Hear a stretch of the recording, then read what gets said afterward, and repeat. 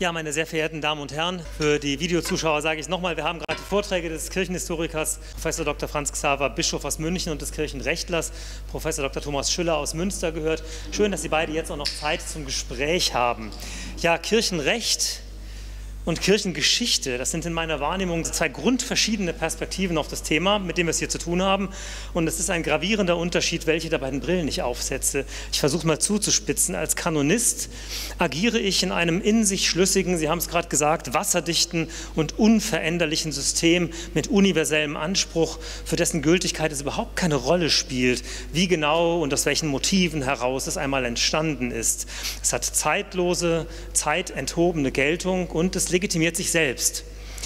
Als äh, Historiker wird dieses in sich schlüssige System dann doch als Ganzes historisch relativiert. Es wird eingebettet in die Umstände seiner Entstehung, in die Zeitgebundenheit des damaligen Denkens, in das machtpolitische Spiel im Hintergrund. Sie haben das wunderbar dargestellt und in eine inzwischen 150-jährige Wirkungs- und Diskursgeschichte.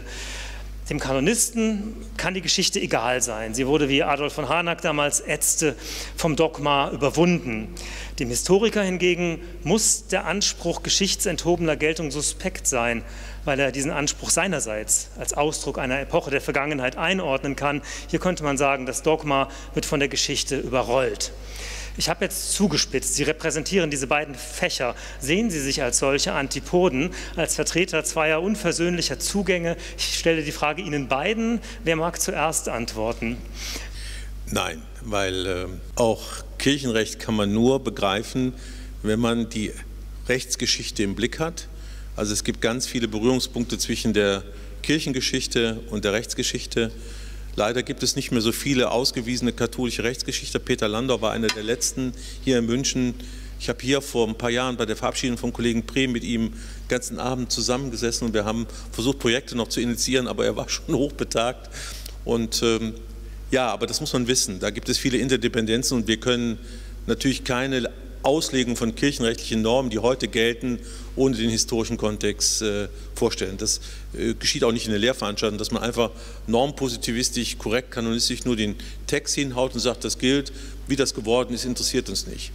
Dennoch muss man natürlich als Kanonist sagen, und da haben wir eine, eine etwas, wie soll ich sagen, äh, nüchtern aufklärende Funktion, dass es eben, dass diese konfessionell geprägte katholische Kirche eine Kirche ist, die ihr ganzes Lehrsystem, ihr ganzes Lehrgebäude eben auch durch ein hochgradig differenziertes und legitimiertes Rechtssystem stabilisiert und sanktioniert. Und dazu gehört das Lehrrecht der katholischen Kirche, das man kennen sollte, auch gerade als systematische Theologe, Theologin und aber auch als Kirchengeschichte, als Kirchengeschichtlerin.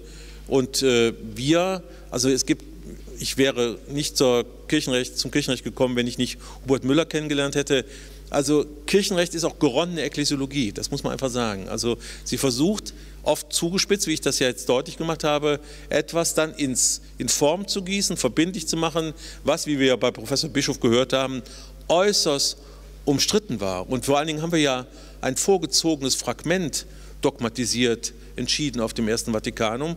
Und der Versuch auf dem Zweiten war ja mit den Lumengentium das einzufangen. Also ähm, ich sage öfters auch spaßeshalber zu der starken systematischen Fraktion unserer großen Fakultät, wir sind nur eure Diener und gehorchen natürlich den Lehren, die ihr uns erklärt. Also soweit dazu. Nein, man muss es immer geschichtlich rückgebunden machen. Das ist ein faszinierendes Fach, was der Kollege vertritt und er wird das jetzt auch deutlich sagen. Ich sehe das genauso, dass man das nicht einfach trennen kann Im Gegenteil, äh, auch der Historiker, äh, es ist ja gerade die Chance des Historikers, Rechtstraditionen in der Geschichte aufzuzeigen, äh, die anders gelautet haben. Und äh, vielleicht ist das auch ein Weg hin äh, zu einer Re-Rezeption von Vatikanum I, dass man eben zeigen kann, dass in innerhalb unserer Kirche es auch Traditionen gibt, die eine andere Rechtsauffassung gehabt haben und auch äh, Rechtsstrukturen gehabt haben. Äh, denken wir nur ans Heilige Römische Reich, an das Reichsrecht, das heute leider auch fast niemand mehr kennt und äh, das dringend wieder in Erinnerung gebracht werden muss in der Wissenschaft, in der Forschung, um eben zu zeigen, dass es bis 1800 3,6 äh, im Heiligen Römischen Reich, wie übrigens auch parallel dazu in, der, in, Frankreich, in, der, äh, in Frankreich, eigene katholische Rechtstraditionen gehabt haben, die auch Rom anerkannt hat und die legitim waren, die zwar in Spannung und, und Konkurrenz standen, aber die man nicht äh, als nicht kirchlich abgetan hat. Da möchte ich noch mal nachhaken. Also als Historiker, das, das, sehe ich ein. Da kann man sagen, das ist äh, irgendwie relativiert. Ich arbeite auf, wie so ein Dogma entstanden ist. Ich kann dann auch den Standpunkt einnehmen, dass durch die Art des Zustandekommens das im Grunde schon diskreditiert ist. Aber als Kirchenrechter kann ich das doch nicht. Sie sind ja mitten im System drin. Äh, sehen Sie einen systemimmanenten Ausweg aus der Sache? Können Sie da drüber schauen? Können Sie zurücktreten und vom, von außen aufs Ganze schauen? Das geht schon. Das muss man ja wissenschaftlich sich auch aus dem System begeben und von draußen draufschauen oder mit, ich nenne es mal Fremdprophetie, mit auch säkularen Juristinnen und Juristen, Politikwissenschaftlern auf das System schauen. Das macht ja den Reiz auch interdisziplinärer Forschung aus. Also das geht schon. Ich muss natürlich, und das habe ich ja versucht im Vortrag deutlich zu machen, die Verbindlichkeitsgrade benennen. Also ähm, ich nehme mal ein Beispiel. Viele von Ihnen kennen sicherlich Dorothea Sattler, meine Kollegin, die sich ja sehr für die Frage der Frauenordination einsetzt, jetzt auch im synodalen Weg. Und äh, dann sind wir immer, also dass, wir, dass ich sage, ich würde mir das auch wünschen, dass Frauen zu Priesterinnen geweiht werden.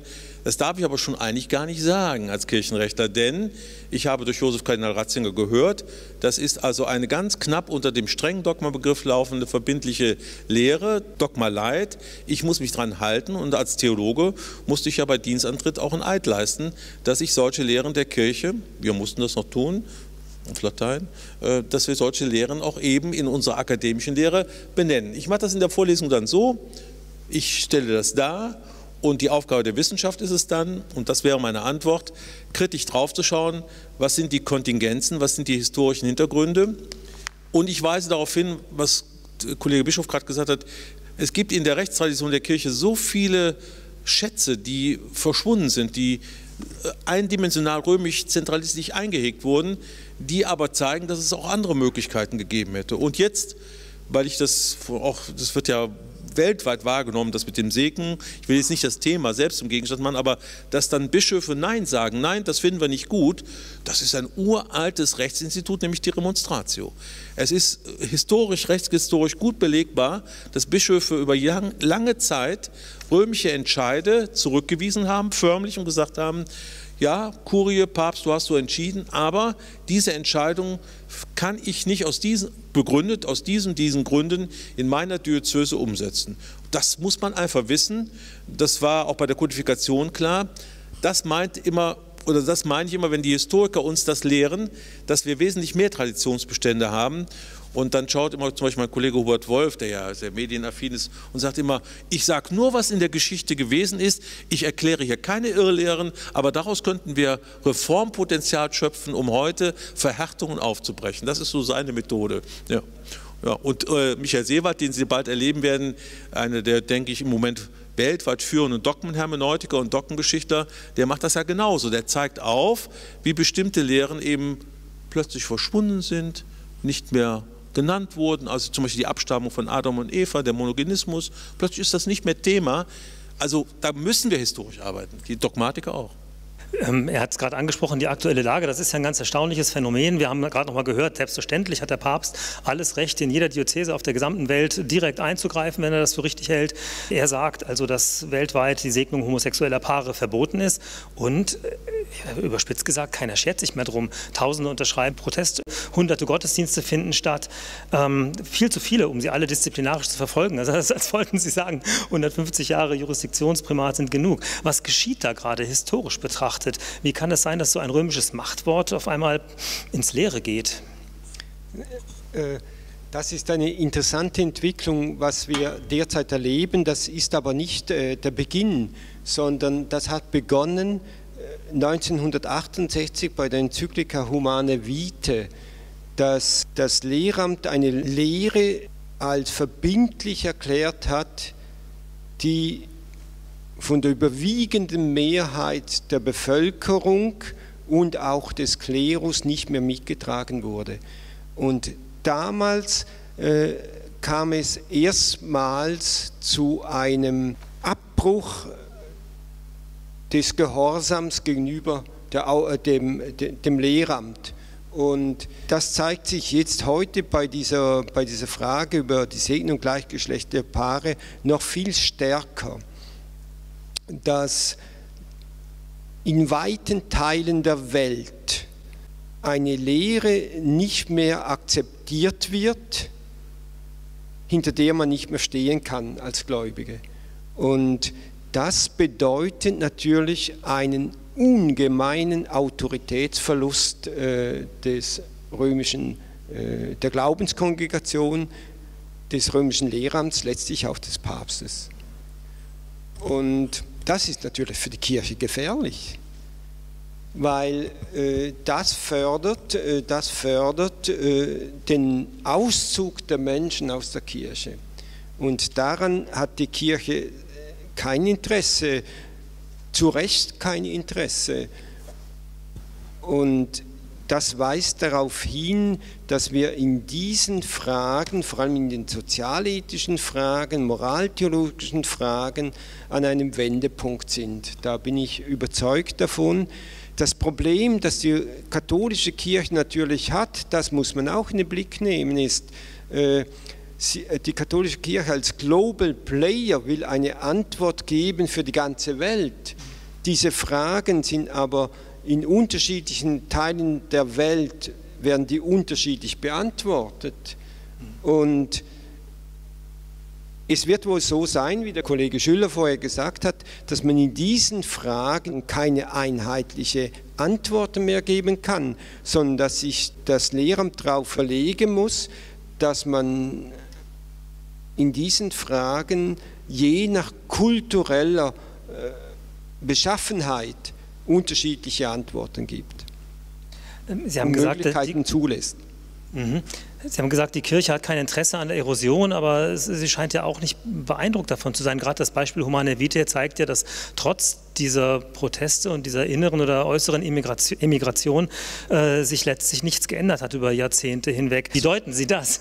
Also bei Humane Vitae hat die Kirche sogar äh, ausgezeichnet reagiert. Da haben ja die Bischöfe genau das gemacht, was Sie vorher gesagt haben. In Deutschland? Äh, äh ja, nein, nein, weltweit. 33 Bischofskonferenzen haben gesagt, äh, wir gehen da nicht mit, sondern in dieser Frage ist der Gewissensentscheid die letzte Instanz. Und dadurch hat beispielsweise in Deutschland konnte man diese, diesen ganzen äh, Protest auffangen. Das Problem ist, dass unter Johannes Paul II. wir über fast 30 Jahre lang äh, permanent diese Frage äh, thematisiert hatten und er diese Frage im Mund hatte und es gab sogar Bestrebungen, daraus sogar eine unfehlbare Lehre zu machen, was dann aber äh, nicht so weit kam. Dennoch, wenn ich auf die rechtliche Lage schaue, und Sie haben es skizziert, Herr Professor Schüller, es hat sich ja nicht in die Richtung geändert, die solche Überlegungen vielleicht nahelegen würden, sondern es ist, wie Sie sagten, eigentlich eher strenger geworden in der Praxis äh, der letzten Jahrzehnte. Ja, man hat ja auch Möglichkeiten der Disziplinierung. Äh, Bischöfe leisten ja auch den Treueid und den Amtseid und wo sie auch verpflichtet werden, getreulich äh, die ähm, Lehrinhalte, wie sie vorgelegt werden, auch in ihren Diözesen zu verkünden. Wenn man den Fragebogen der Nunzien sich anschaut, bei der Rekrutierung von geeigneten Kandidaten für das Amt eines Diözesanbischofs, ist das auch einer der ersten Punkte, die abgefragt werden. Also marianische Frömmigkeit, Priesterkleidung, korrektes Zölibat und dann kommen aber schon die Lehrpunkte. In, das ist ja häufig jetzt mittlerweile publiziert worden. Ich hatte ihn selbst mehrfach in der Hand, kann es also auch aus eigener Anschauung bestätigen. Das steht wirklich so da drin. Also über die Bischöfe hat man diese Verfügungsgewalt, aber auch wir Lehrenden stehen unter dieser Observanz. Äh, jeder von uns kennt das. Äh, regelmäßig Kompost und äh, dass man sich dazu äußern muss. Und deswegen ist es mir immer wichtig, und das sage ich dann auch gerade den, eher sind jetzt ja, sind ja nicht wir beide, wir sind ja so harmlose Fächer eigentlich, äh, eher sind es die systematischen Theologinnen und Theologen. Und dann sage ich immer, referiert bitte in euren Lehrveranstaltungen den lehramtlichen Stand, äh, macht die historische Genese und dann problematisiert er das, was auch die Aufgabe von Wissenschaft ist. Problematisiert es, äh, dann kann euch keiner was. Ne? Und äh, also es gibt genügend Sanktionsmöglichkeiten und äh, mit der Erklärung zum Beispiel der Glaubenskongregation im Responsum zu dieser Frage haben drei mir bestens bekannte deutsche Priester, Ordenspriester, die sich auch publizistisch und öffentlich dazu geäußert hatten, die das auch getan hatten, haben also ein äh, Strafdekret bekommen, in dem A drin stand, sollten Sie es noch einmal tun, werden Sie suspendiert, und zwar vom Papst selbst, dann kannst du die Entscheidung auch nicht mehr anfechten. Zweitens, Ihnen wird untersagt, und die drei halten sich dran, publizistisch dazu öffentlich sich zu äußern. Also es gibt schon Gruppen, Sie normale Gläubige kann der Papst nicht. Dann sagen Sie, ja, dann mach halt. Ne? Aber äh, es gibt schon genügend Abhängige, die, äh, wo dann schon auch mit den Möglichkeiten der Suspendierung gearbeitet wird und mit der heiligen Denunziation. Das war immer schon ein Volkssport im Katholizismus, ähm, aber da muss man sehr gelassen sein. Also wenn Sie 16 Jahre das Büro eines äh, wirklich profilierten und absolut radikal arm lebenden Bischofs leiten und mit den Schmähungen und Beschimpfungen also mich kann nichts mehr erschüttern. Also das, äh, weil auch die Verrohung der Sprache so weit vorangeschritten ist, dass man sich gegenseitig das Katholischsein abspricht und dabei gar nicht begreift. Ich wollte noch ein Beispiel bringen, dass, äh, dass diese katholische Kirche viel bunter und vielfältiger ist, als es gemein den Eindruck macht. Ich bringe mal ein Beispiel. Was hatten wir an einem liturgischen Ritenreichtum, auch in der lateinischen Tradition, der, der ambrosianische Ritus in Mailand, ja, in Spanien. Also wir haben es in Zaire oder heute früher aus Zaire. Wir haben einen großen Reichtum an, an, an, Riten und da sagt auch keiner, dadurch wird das eine Moment verloren gegangen. Also äh, diese Balance zu halten zwischen dem Dienst der Einheit, das war mir am Schluss ja ganz wichtig. Das würde ich auch unterschreiben. Ich bin natürlich römisch-katholisch und der Papst ist zentral. Und dem, was man aber an Möglichkeiten lässt in der Fläche, inkulturiert. Wie wollen Sie denn die jungen Missionare, äh, aufstrebenden Kirchen, Ozeanien, Asien, Afrika, die kannst du doch nicht mit einer europäisch-römischen Denkweise in ihre Kulturkreise übersetzen. Die müssen selbst den Weg finden, wie sie Jesus Christus in ihre Kulturkreise hinein adaptieren. Wie wäre die China-Mission erfolgt, wenn man nicht zunächst mal begriffen hätte, ja, wie denken Sie philosophisch, spirituell? So geht doch das ist ja die große Stärke des Christentums. Sie ist inkulturationsfähig. Und das geht nicht durch eine zentralistische, das ist der, das ist der Holzweg. Aber faktisch haben wir es ja. Also, und hat nicht Hana letztlich recht, dass äh, die Geschichte und die historischen äh, Umstände in dieser Frage vom Dogma überwunden sind. Ich meine, das Argument mit der Honorius-Frage, Sie hatten es ja vorhin, das, äh, das stimmt ja. Es gab nun mal einen heretischen Papst im 7. Jahrhundert. Äh, nach dem heutigen Recht äh, ist das eine Aporie. Was soll man machen? Äh, quis judicabit. Also, wer könnte überhaupt, welches Verfahren gäbe es überhaupt? Es gäbe keins. Also, faktisch, wenn ein Papst heute was Heretisches sagen würde, Gott bewahre, würde es dadurch zur Wahrheit? Oder also wie, wie, wie, wie äh, bitte sehr. Nein, das gibt es tatsächlich nicht. Es gibt es nicht. Äh, es gibt auch keine Vorkehrung, was geschieht, wenn ein Papst, wir haben es bei Johannes Paul II. ja erlebt, äh, so schwer krank wird, dass er nicht mehr rechtsgeschäftlich handeln kann.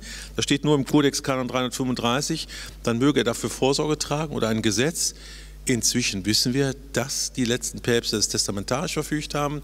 Wer weiß aber, wo es ist, welche Mediziner werden engagiert, um festzustellen, dass der Papst nicht mehr handlungsfähig ist. Der Papa Idioticus, der Papa Heretikus war ja in der Kirchengeschichte immer ein großes Thema. Woran macht man das fest? Aber Sie haben, das, Sie haben natürlich recht. Wir sind mit dem Ersten Vatikanum, was diese unkonditionierte Machtfülle angeht, in eine Sackgasse gelaufen, vor allem im Worst-Case-Fall, wenn einer verrückt wird, wenn einer heretisch wird, wenn einer dement wird, wenn einer nicht mehr handeln kann.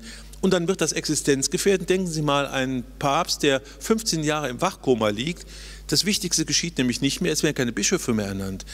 Das ist existenzgefährdend. Und dann erschrecken immer die Studierenden. Ich sage, die Kirchengeschichte zeigt uns viele Beispiele, Sie kennen die besser als ich, wie man dieses Problem dann gelöst hat. Die Vorstellung vom Papa Hereticus, die, gibt es ja noch. Und die ist ja auch noch im Kirchenrecht drin. Das Problem ist doch, dass wir heute niemanden mehr haben, der das feststellen kann. Und das würde mich schon als Historiker interessieren, was das Kirchenrecht äh, in Zukunft, auf Zukunft hinaus äh, plant, wie man das wieder in den Griff kriegen kann. Im Grunde hatten Sie, Herr Professor Schüller, vorhin schon die Antwort gegeben am Ende. Es kommt auf einen an, nämlich auf den Papst. Deshalb stelle ich jetzt auch meine Abschlussfrage wieder an Sie beide, diesmal in umgekehrter Reihenfolge. Wenn Sie Papst wären, wie würden Sie mit dem Erbe äh, dieser beiden Dogmen umgehen? Ganz ehrlich. Also ein das ist für einen Historiker ist das eine unmögliche Frage, weil er, weil er nicht in Zukunft Perspektiven entwickeln kann. Aber okay, es mal. versuch's mal. Also, ich bin persönlich überzeugt, dass Papst Franziskus etwas Wichtiges erkennt mit der Dezentralisierung der Kirche. Und ich würde sogar einen Schritt weiter gehen.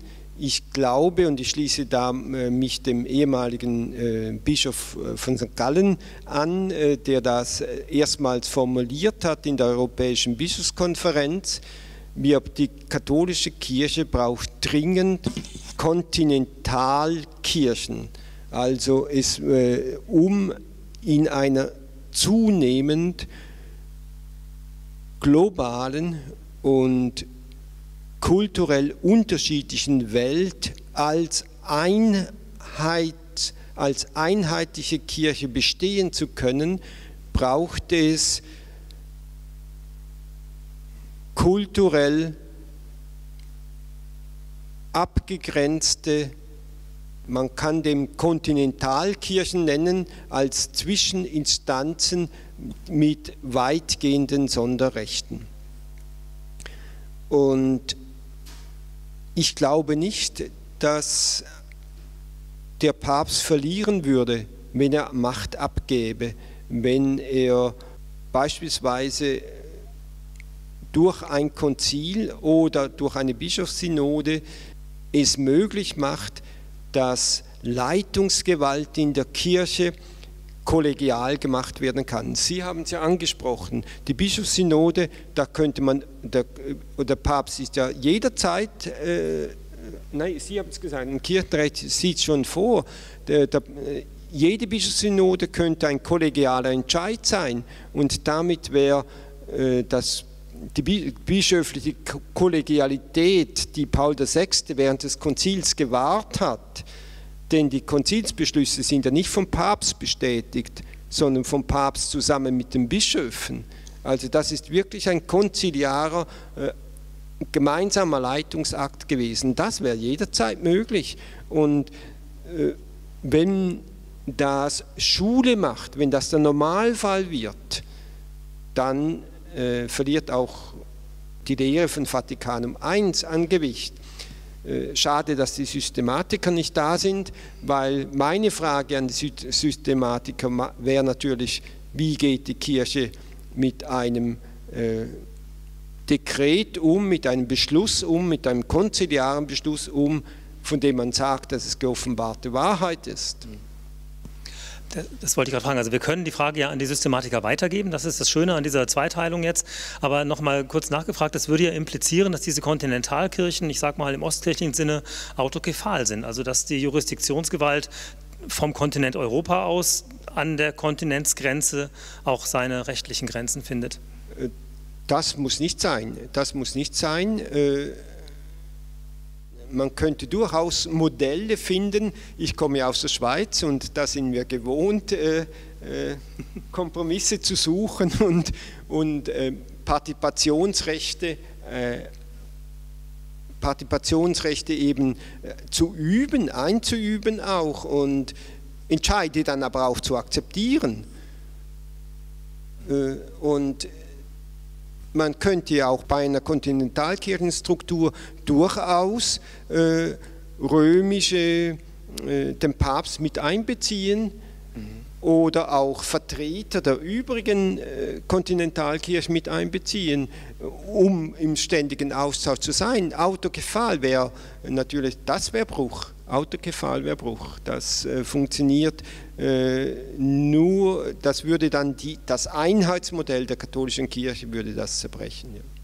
Ja, das würde ich auch genauso unterschreiben und wir sehen ja, zu was es führt, dass ja zum Beispiel die äh, orthodoxen Kirchen immer noch nicht so wirklich einem Konzil zusammengefunden haben weil eben die Autokephalie und auch die politische Vernetzung mit den jeweiligen staatlichen Gebilden sehr partikulare Interessen in den Vordergrund treten lässt. Das ist ja die große Schwäche. Das sage ich hier ganz unökumenisch quasi, aber man sieht es halt über die Jahrhunderte. Ähm, ich finde auch, also zunächst einmal glaube ich, dass es ein Konzil bräuchte für eine Revision und der Kernpunkt ist eben systematisch-theologisch, es soll eine geoffenbarte Wahrheit sein.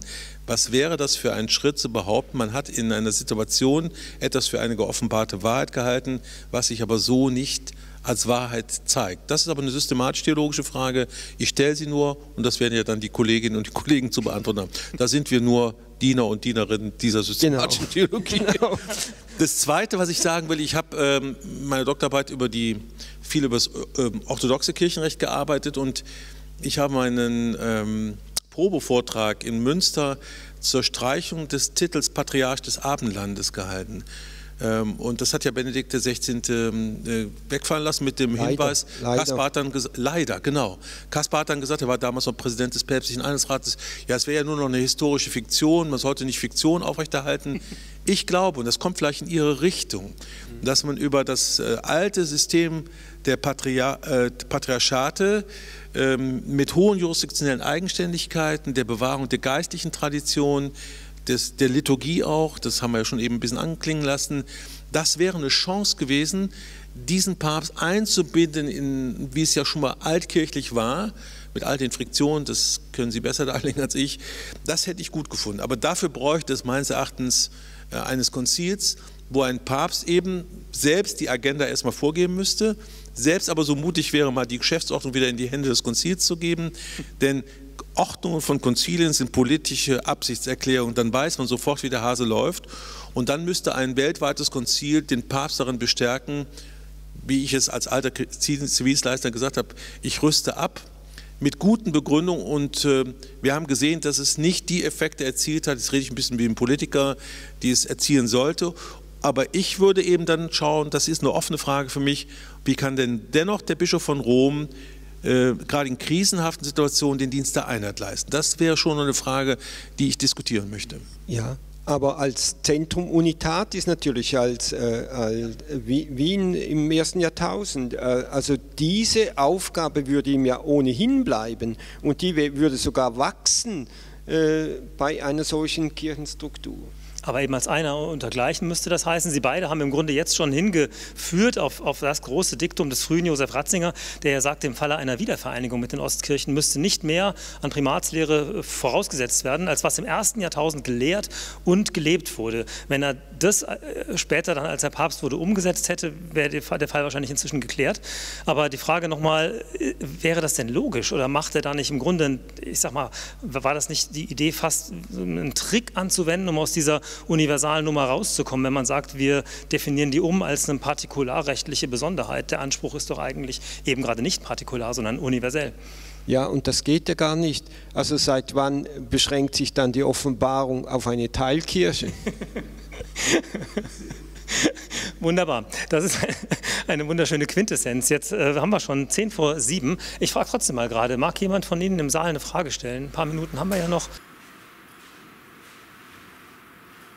Kummer, ich bin Jesuit, jetzt pensioniert und Nonnenseelsorger und vielleicht ist deshalb mein Erstaunen, ja, ich war Naturphilosoph und Biologie ist eigentlich eine zwar für Moraltheologen gefährliche Disziplin, aber sonst nicht so in dieser Brisanz und, und so ist das Baff, der sich vor allem von einer Seite, wo ich es gar nicht erwartet hätte, nämlich vom Kirchenrecht her für mich ja, vielleicht aus dieser Aufnahmefähigkeit, die man als unterbeschäftigter Rentner hat, zum Vorschein gekommen. Vielen Dank dafür. Die historische Seite war mir durch Lektüre von Hubert, Hubert Wolf näher und äh, nicht so neu wie, ich sage es mal hart, dieses ja, Selbstverständliche. Wir haben ein Bischofs das Bischofskollegium neu entdeckt am Zweiten Vatikanum und da gehen theologische Überlegungen voran. Es wird ein bisschen gegengesteuert, aber es ist doch eigentlich vorangehen und mir geht zum ersten Mal auf, wie zementiert im Hintergrund das Kirchenrecht etwas in, mit neuen Mitteln in alte Formen gießt, in einer Art und Weise, wo ich gedacht habe, das hätte sich eigentlich erledigt. Und meine Frage, die ich jetzt habe, ist, wie kann man aus diesem Hintergrund mit gutem Gewissen als Katholik Ökumene betreiben? Ja, das ist auch eine gute Frage. Sehr gute Frage. Warum ist das geschehen, äh, Herr Kollege? Weil das Konzil selbst, das ist ein oft genannter Punkt, wenig Wert darauf gelegt hat, das, was es an dogmatischen Gewichtungen vorgenommen hat. Also es hat ja altkirchliche Vorstellungen vom Bischofskollegium revitalisiert. Ja? Ähm, das nicht in rechtliche Form zu überführen. Wenn man sich die frühe Konziliengeschichte anschaut, wissen wir, ne, waren ja einmal die lehrmäßigen Streitigkeiten, Christologie, Trinitätstheologie, aber wo man schon mal beisammen war, hat man auch eben äh, die, die disziplinären Fragen geregelt. So ist Kirchenrecht entstanden, in den Kanonis, da kommt das Wort auch Kanon her. Ähm, und das hat man auf dem Zweiten Vatikanum versäumt und dann hat es der in die Hand genommen, der es kann, nämlich der Papst. Ja. Und ähm, wenn Sie nochmal daran denken, 67 die Bischofssynode, wo die Leitideen festgelegt wurden, da stand noch Subsidiarität drin.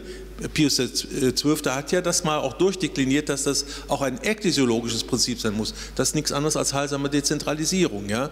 Ähm, das ist der entscheidende Punkt und wenn ich mit den Studierenden im Spezialstudium, Lizenziat, da gehen wir auch die ganze Kodexreform, ist ja alles in Latein, die können das, gehen wir durch und dann schauen wir uns, wie über die verschiedenen Jahre bis 83 die Texte im Verfassungsrecht verändert wurde. Es begann mit sehr erfreulichen, von Ihnen bekannten konziliaren Formulierungen und zum Beispiel beim Diözesanen Bischofsamt, da steht ja, der hat Amts, Amtsgewalt aus sich selbst heraus, äh, ne? also steht ex se, ne?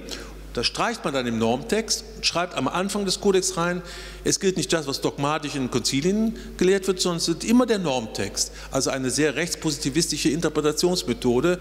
Das sind die Punkte, wo das Konzil nicht darüber nachgedacht hat, das in eigene Hände zu übergeben. Und dann kam der Papst mit seiner Kurie und hat es dann wieder im Sinne des Ersten Vatikanums adaptiert. So ist der Prozess gelaufen. Ja, das ist einleuchtend. Danke. Ich wollte ein bisschen das Konzil verteidigen. Nein, das Problem einfach aus historischen, auf, wir haben ja im Zweiten Vatikanischen Konzil wieder eine vergleichbare Situation wie auf dem Ersten. Wir haben allerdings dort eine Mehrheit, die den, das hat John Amonto des Papstes wollte und mitgetragen hat, aber wir hat, hatten auch eine sehr einflussreiche Minderheit, die sich während des ganzen Konzils strikt gegen alle Änderungsversuche sowohl in der Ekklesiologie wie in der Lehre gestellt hat.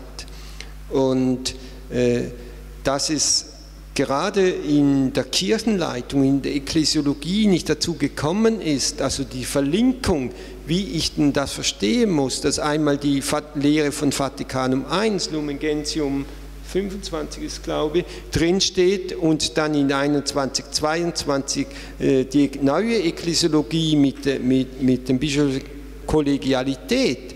Das haben natürlich die Bischöfe wie Döpfner schon gesehen. Aber das durchzudrücken, ist nicht gelungen auf dem Konzil. Und deshalb ist man den Kompromiss eingegangen, weil man natürlich alles andere, was unglaublich wertvoll ist in dieser Konstitution, nicht auch aufs Spiel setzen wollte. Und äh, das Problem ist in der unmittelbaren Nachkonzilsphase wahrscheinlich passiert, weil die meisten Bischöfe davon ausgegangen sind, dass sich das Prinzip der bischöflichen Kollegialität in Zukunft fortsetzen werde und dem die Zukunft gehören würde.